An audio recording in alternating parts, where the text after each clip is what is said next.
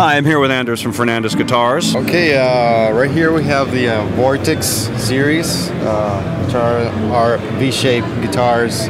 Been out for a few years now. Uh, are uh, some of our more popular models, and um, the Elite and Deluxe series. Uh, they feature the EMG pickups.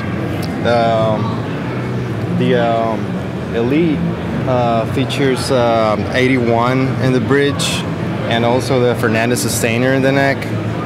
And uh, it has a Floyd Rose uh, style bridge, which that's a great tool to have, you know, combining everything, um, EMG and sustainer together.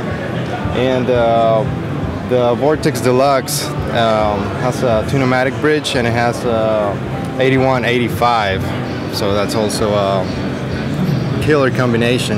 As you may know, uh, our EMGs have been uh, some of the top choices for uh, the top guitar players out there. Your personal opinion about the EMGs? How do you think they enhance the sound? Oh, they're definitely one of uh, one of the top features for our guitars right now. You know, everybody loves them, and uh, they definitely bring out the sound. You know, and uh, and also the looks. You know, we, we have a lot of satin finishes, and that kind of blends in with the instrument itself. Great. Well, hey, thanks for talking with us, and uh, you have beautiful instruments here. Love them. Thank you. Thank you so much.